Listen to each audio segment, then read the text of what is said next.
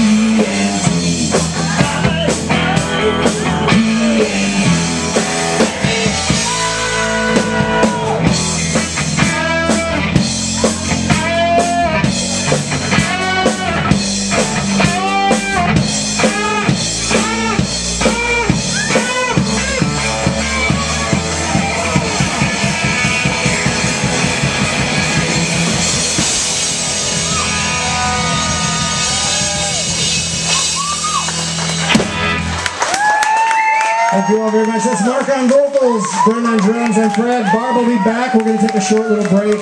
Thank you all so much.